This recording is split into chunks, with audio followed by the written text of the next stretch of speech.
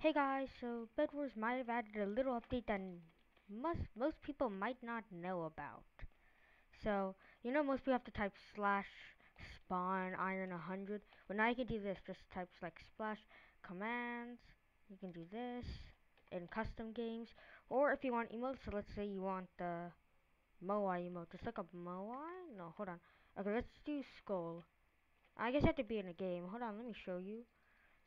Let me load into a game and I'll show you. You can now use emojis for some reason. Oh, I don't know, the importer where you could type, wait, yeah, here, skull. You could just use the emote, just like this. You could just use the emote like that.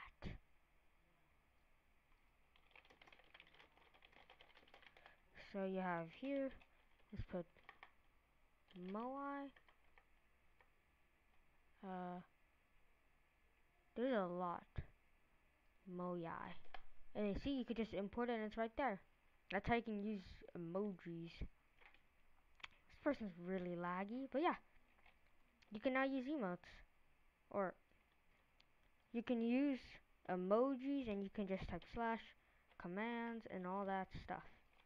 So yeah, that's it. They, but they didn't include into the patch notes, which is something. So yeah, that's probably going to be the end of this video. And you can also get the egghead.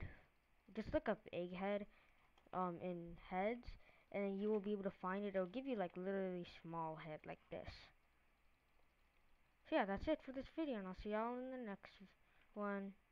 Peace. They have a really small update, and I like it.